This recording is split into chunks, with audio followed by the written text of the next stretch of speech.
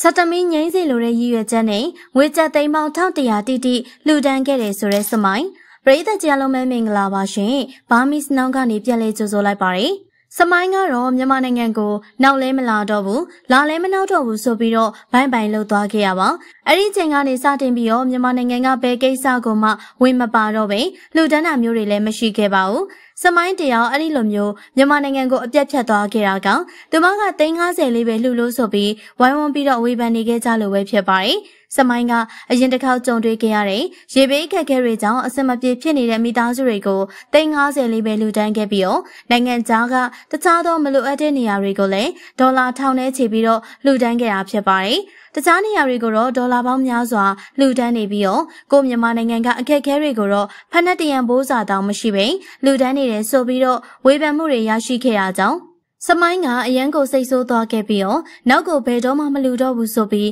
ပြောသွားခဲ့ရပါဒါပေမဲ့လည်းသူမကအရန်ကိုမှအလူတန်းရရောသူဖြစ်ပြီးတော့မြန်မာနိုင်ငံအပေါ်ကိုလည်းချစ်မြတ်နိုးသူဖြစ်တာကြောင့်လက်ရှိမှာကြုံတွေ့ခံစားနေရတဲ့ရေဘေးကက်ခဲတွေကိုကိုချင်းစာနာတဲ့အတွက်နောက်ထပ်လူတန်းမှုကြီးတွေကိုပြုလုပ်ခဲ့ပါတယ်စမိုင်းကပရာဟိတမင်းသမီးကြီးခိုင်နေဝေစီကိုဆက်သွဲပြီးတော့ငွေကျပ်သိန်းပေါင်း300တိတိလှူဒန်းခဲ့တယ်ဆိုပြီးသတင်းတွေထွက်ရှိခဲ့ပါတယ်။အဲ့ဒီအချိန်တုန်းကတော့ပရိသတ်တွေကတကယ်ပဲဟုတ်ပါမလားဆိုပြီးမယုံကြည်ခဲ့ကြသူတွေလည်းရှိသလိုစမိုင်းကမြန်မာနိုင်ငံအပေါ်ကိုအယမ်းချစ်တာကြောင့်အခုလိုမျိုးလှူဒန်းတာဖြစ်မယ်ဆိုပြီးတော့လည်းချီးကျူးနေကြသူတွေရှိပါတယ်။ နောက်ထပ်အနေနဲ့စမိုင်းကနိုင်ရေးကူညီမှုအသင်းတစ်ခုကိုငွေကျပ်300လူဒန်းနဲ့ဆိုပြီးတော့လဲသတင်းတွေထပ်ထွက်ခဲ့ပါတယ်။ဒါတင်မကနောက်ထပ်လဲပရိုက်တာအဖွဲ့အစည်းတစ်ခုကို350လူဒန်းနဲ့ဆိုပြီးတော့သတင်းထွက်လာခဲ့ပြန်ပါတယ်။စုစုပေါင်း3650လူဒန်းနဲ့ဆိုပြီးတော့ပြည်သက်များစွာရဲ့ချီးကျူးမှုတွေကိုရရှိခဲ့ပြီးတော့ အရင်ကဝေဖန်ခဲ့တာတွေတောင်မေးကုန်ကြပါတယ်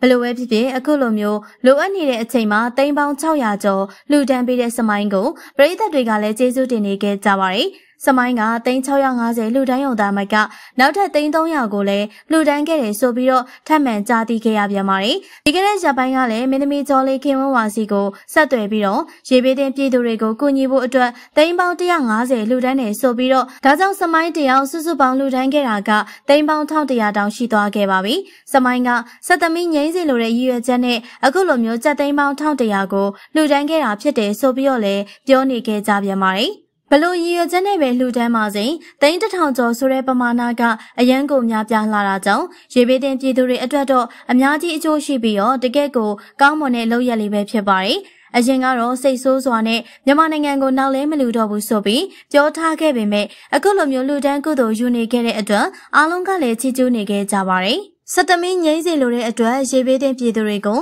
ငွေကြသိန်းပေါင်း1100လူဒန်းကုသိုလ်ယူခဲ့တဲ့တရင်မကြီးစမိုင်းရဲ့လူဒန်းမှုတွေအပေါ်ပရိသတ်ကြီးတို့ရဲ့အမြင်ကိုလည်းပြောပြခဲ့ပါအောင်ရှင်ဒီဗီဒီယိုလေးကိုအဆုံးထိကြည့်ရှုအားပေးရတဲ့အတွက်ကျေးဇူးထူးပဲတင်ရှိပါတယ်ရှင်